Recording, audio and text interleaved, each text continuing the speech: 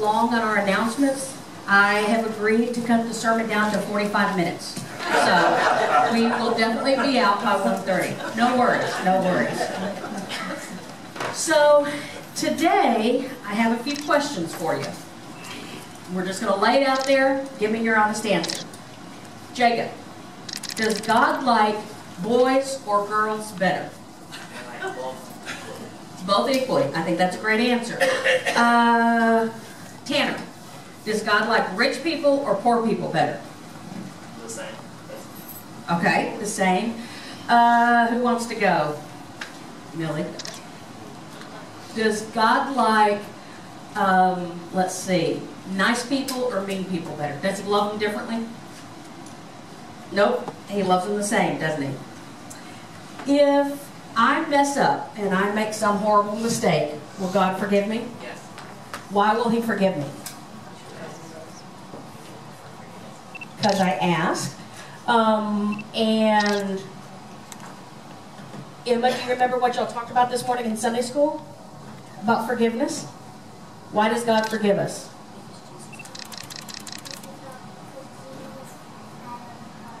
She said, because Jesus died on the cross, and that is the exact answer.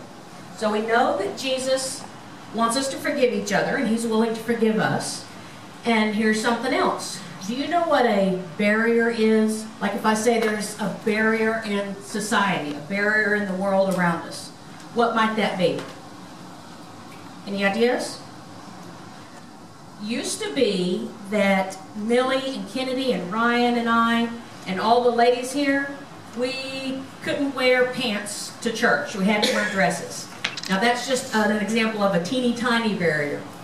Um, used to be uh, maybe I couldn't have gone to law school. And Ani, Millie's older sister, who's getting her master's in business in Dallas, she couldn't have gone to school. And Dr. Shirley over there, no way could she go and uh, try to further her education. Now, they probably would have let you do all that animal stuff you like to do, but not, not the education.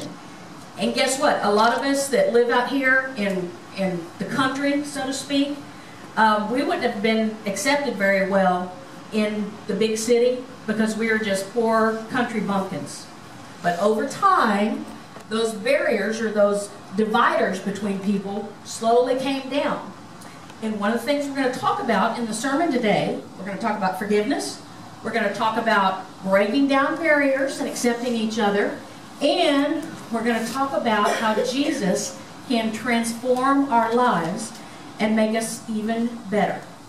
Um, those of you that saw Millie a year ago might agree with me that she's transformed to where she is now because um, God healed her. Praise God. There you go. Praise God. So I want you to think about those things. And what I'd like to do is I want to tell you guys a story. And we're going to slide on into the sermon. I'm going to tell you the story. And at some point I will let you go, sit back in your comfy seats. But I'm going to need y'all close up to tell the story because it's true. And it was humiliating. But I want you to know that if I can live through something like this, then you guys can live through anything. Are you ready? Okay. So, we're in January now. About two or three months ago, I was driving up to Clarksville to go to court. If you don't know where Clarksville is, you just hop on 37, drive for an hour, you're there. If you're in Oklahoma, you've gone about five minutes too, too far, you turn around, you come back. So the kids might not know how to get there, but now all the adults know. So go up to Clarksville. It's the county seat of Red River County. I started traveling there about a decade ago to work in um, CPS cases, to work with families in need, uh, kids who are in bad situations. And I can assure you that most of the people that live there are poor and uneducated, and they don't have jobs, and they really don't have a lot of hope either. Um, They're abusive sometimes to themselves and sometimes to their kids. Not everybody, but it's just a particularly um, troubled area. Now, for this story that I'm going to tell you to make sense, I need to be brutally honest about myself. So get ready. I drive up there monthly in my big red fancy suburban because I'm going to save the day for all the people in Clarksville. I can get in and out in a couple of hours, and I can drive home and look in my rearview mirror and see, I can just see justice that leave behind me in my wake. You've got to understand that no attorneys want to go up there and work because the county's poor and they hardly pay anything. So over time, my importance, of course, it's in my own head, not to anybody else, but my importance in my own head has grown exponentially. Several months ago, as Alyssa says, she's noticed the same thing. Several months ago, it was a really cold day. One of the few cold periods we've had this whole season. It was a really cold day, so I made sure I layered up my clothes. The courthouse up there is old and drafty. The heat doesn't work very well. But got the car, drove up there. We got started. The judge heard the first few cases, and I started the process of saving Clarksville. then the judge called the case. When I say call the case, he said, okay, let me talk to the next group, the next family. Well, it was a, a family that I wasn't involved with, so I thought, I'm going to take the next few minutes and take the time to go to the restroom. Now, understand that in this particular courthouse, it's, it's over 100 years old. Think of it kind of laid out like this church. The judge sits up on a big podium. There's stairs that go up in the center. There's a district clerk on one side. There's a court reporter on the other side. The things that go on there are so important. She has to write everything down. Um, there's doors on each side, and you can walk around to the back. And there's some offices and a bathroom back there. So I decided that I would take that break, walk around there, use the restroom. Understand that in addition to everyone else that I told you about, the courtroom is full of people out here. Um, there are bailiffs in the courtroom, which are people who carry guns that are going to protect us. There are also some prisoners that had to come over and go to court that day, so there are jailers. So there's like police officers all around. Everyone's doing their job, except for me. Everyone else is doing their job. Um, I walk out of the bathroom, come around, and I start walking out when time starts to really slow down, and it's from here on out I can't remember every detail of what happened, but I'm going to do my best to tell you. I went back to my seat, slowly go back to my seat, sit down. I'm getting ready in my mind. I'm going to save the next child. I'm going to help the family and save Clarksville. All of a sudden, the district clerk, who's sitting up here on this side, stands up in the middle of someone else's case, walks down these stairs, starts walking to me, and I realize she's probably gonna interrupt what's going on so she can tell me how awesome I am. because that really is, is realistic. So she walks up to me, she leans over to me, and I'm telling you right now, this is a true story. She leans over and says, Mrs. Doke, the bottom of the back hem of your dress is tucked into the top of your pantyhose.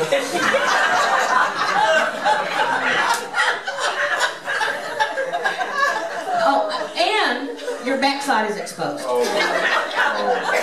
Oh. How do you think you guys would feel in a situation like that? Would it be scary? I was humiliated. You might ask how else I felt but I think I blacked out and I couldn't tell you. when I got home, I told the kids what had happened, and they said, What did you do? All I remember is sitting in the seat, trying not to stand up and like pull my skirt down at the same time. And I got a book and I put it about this close to my face, and I leaned over and I pretended to read for the rest of the day. so, I want you to think about that. You guys can have a seat, and I'm going to tell you what I learned from that day, okay? You guys go back to your seats. The candy? Oh my.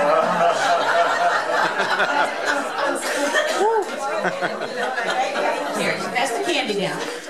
You're weird. That's right. And that, uh, we got the best, best feedback. She said, you're weird. yeah. And that's only one one of the stories that I can actually tell in church. So y'all get candy and sit down and we'll keep talking about what I learned that day. Yes. Yes. Went to the restroom before the pep rally. The pep rally was in the gym. Got all the way to the gym and finally one of my students said, Miss Wylie, your dress is in your, yeah, exactly, all the way. It happens. Understand? I didn't realize that if I could live through something like that, and I was able to physically get up and walk out and drive home, and my kids were still there, my husband was still there, it really took the pressure off of all the crazy things that I thought that I couldn't live through. So I'm trying to put a positive spin on it all. So, not only was I humiliated, but afterwards, when, all kidding aside, when my blood pressure went down to non-struck out level, because it was probably pretty close, I was able to kind of pause and think about, I had to turn it around somehow, and I had to think about what could I learn from this experience, and how could I make sure I kept my backside covered next time. so, you might think that what I want to talk with you about today are the big global legal issues of the justice system and CPS, but I don't. Although the lessons that I learned, let me say it this way. I discovered the little book of Philemon, which is in the um, New Testament. It's only 26 verses long. And I'm going to talk to you today about what I learned out of that book and how I'm going to apply it to that horrible situation. And even though we could talk about these lessons on a big global level, we're going to talk about it on a local Tinney Chapel level. And we're going to think about how we should be treating each other. And to do this, we're going to look at, we're going to break it down to three, three lessons. We're going to talk about forgiving others. We're going to talk about breaking barriers and we're going to talk about transforming hearts and lives. And then at the end, we're going to put it all together and figure out how we can use these ideas to keep our backsides covered. so to understand the importance of Philemon, you have to understand the world into which this book was written. It was written during the time of the Holy Roman Empire. Slavery was not only allowed, it was condoned there were approximately 60 million slaves out of a population of 120 million. So we're talking half the population lived in slavery. It will come as no surprise to you that slaves were thought of the same way you think of cattle or a piece of property, and they could be treated however the owner wished. Let me make something really clear. I can't get up here and tell you that Paul was condemning slavery because that's not really what he was saying. He was trying to change people's hearts, and once their hearts were changed, they would be transformed, and his hope was to stop the abuses of slavery. So Paul had a, a friend named Philemon. He had converted Philemon to Christianity, and he considered him a friend and a fellow worker in the kingdom. Philemon was well respected in his community. He allowed people to come and stay with him. He taught them. He was a devoted worker for the Lord. Philemon, the friend, had a slave. Um, I'm sure this is a very popular name at the time. I haven't heard of it since, but Onesimus. Get ready because we're going to hear it about 500 times. So, the slave was named Onesimus. Something happened that caused the slave to run away. The book doesn't tell us exactly what that was, you know, maybe he stole. We don't know. But we know that at some point after he ran, he went, ended up in the city of Rome.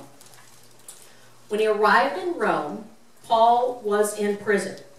Paul would receive visitors and he would teach and preach. And somehow Onesimus ended up visiting Paul and learning from him. At some point, Onesimus became a Christian.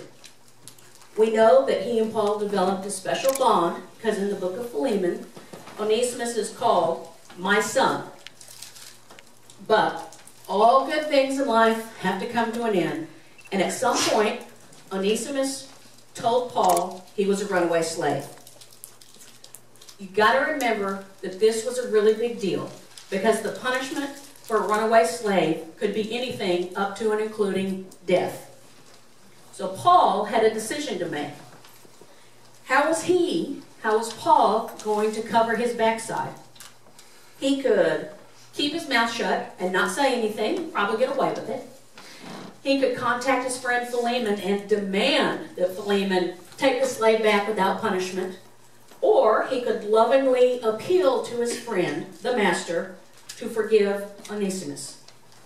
Luckily, he writes to us about his thought process and teaches us how we can go through the same decision-making situation and get out of sticky situations. Let's talk about forgiving others. It seems like a pretty basic concept, but it's not always easy to do.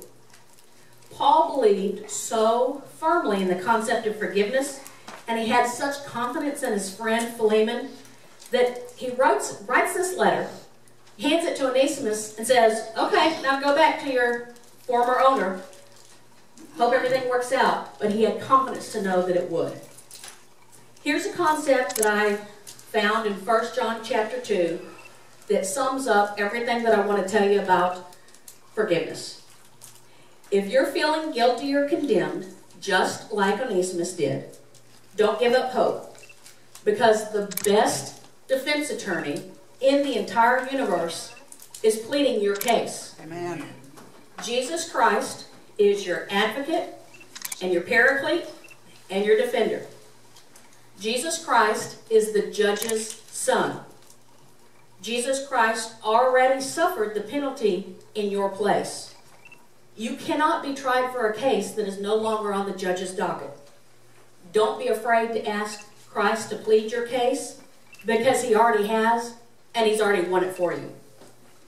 So in this letter, Paul tactfully and lovingly intercedes with Philemon on the slave's behalf. He pleads with him to not treat his slaves with harshness and cruelty that was so typical of the age, even though he had the right to under the law. Instead, Paul urges him in a loving spirit and a forgiving spirit that are the marks of true believers of Christ. Paul speaks to Philemon's heart when he talks about Onesimus as his child of faith, not a runaway slave. Words are important and they make a difference. He assures the master that the slave is not just a slave anymore, he's also his Christian brother.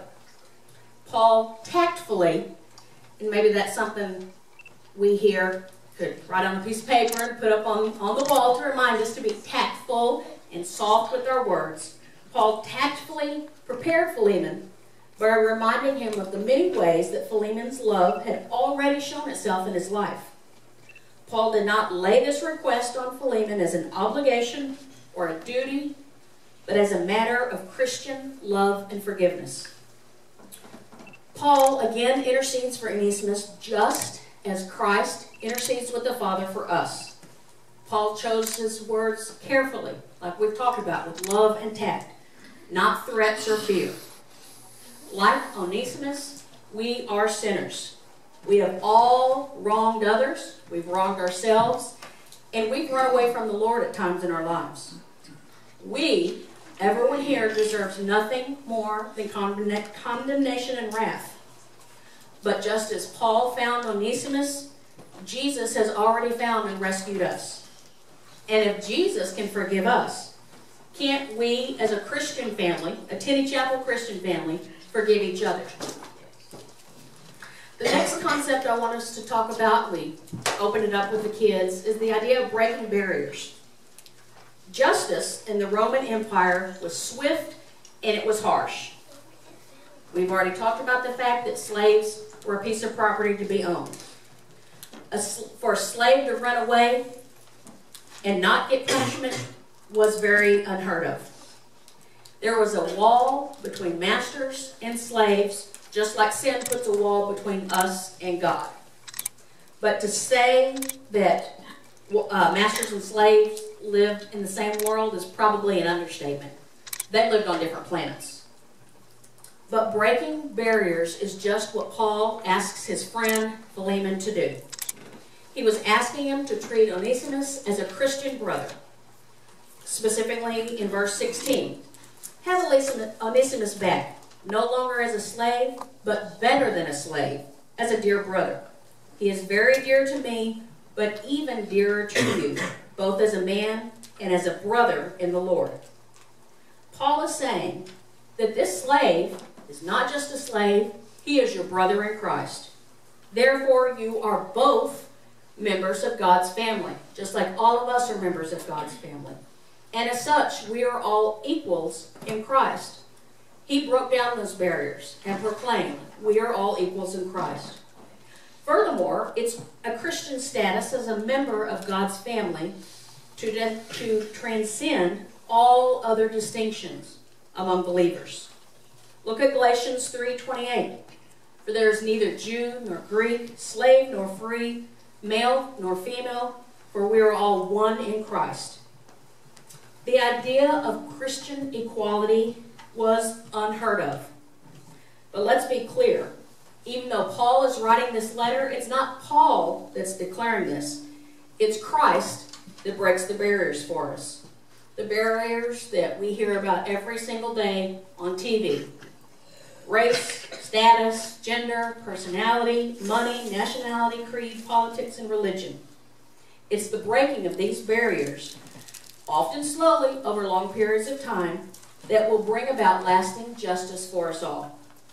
It's my prayer today that as we listen to Paul's words and the book of Philemon, that we push our Tinney Chapel selves to break barriers, just as Christ broke the barriers that separated us from him. Finally, let's talk about transformation. And we can't talk about transformation without me giving you a little fact, a little story about Onesimus. The name Onesimus means useful. Before he became a Christian, he was not very useful to the kingdom of God. But afterwards, he became transformed into a Christian and began truly living up to his name, and he transformed into something that was useful. He has already been useful to Paul, and he will again be useful to his master if his master will just receive him. Along those same lines, I want you to remember that the purpose of the gospel is not to change necessarily the social order, but to transform our human hearts. As we already talked about, in Roman society, women, children, slaves have few rights. But in the church, we have freedoms that society might have denied us elsewhere. It's the church, not necessarily church, it's the kingdom of God, the message of Christ, that transforms us into something of value. Since Paul believed that both Philemon the master and Onesimus the slave had been transformed, Paul sent that slave back to his master, and the slave went willingly, knowing that the punishment could be death. That's got to be some kind of transformation. I'd love to tell you that everything in our world is perfect, that we live in a forgiving world with no barriers, where everyone is transformed by Christ, but that's simply not the case. I feel much more confident telling you that we're part of a congregation here at Tinney Chapel that tries and will continue to try to forgive, to break barriers, and to transform lives and hearts. In Tinney Chapel, if we will continue to keep our focus on Christ, I can assure you that even when we mess up, He will make sure that our backsides are covered. Amen. Amen. Amen. Amen. Amen.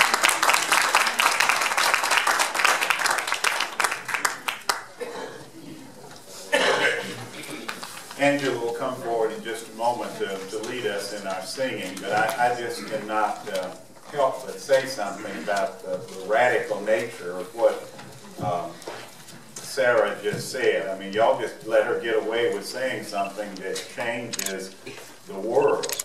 Uh, if we are all sisters and brothers in Christ, that means that Jim Laurent is my brother. Amen. He's a white boy. Why, Giovanni, that means that Carlos is my brother, but he's Peruvian. Right? How could that be? Jesus was a Jew. Jesus was a Jew. But you see where this is going? That means we get beyond bitterness and hatred and one-upsmanship. That is a radical thing. Let the church say amen. Amen. Okay, five seventy-five onward Christian soldiers, first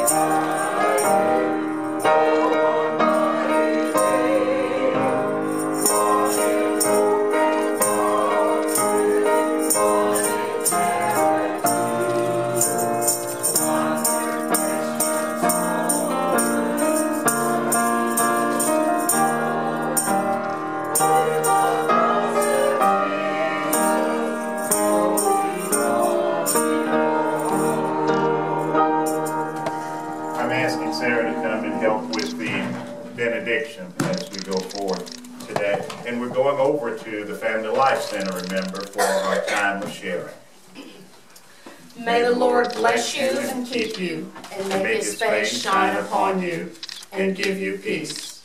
Amen. Amen.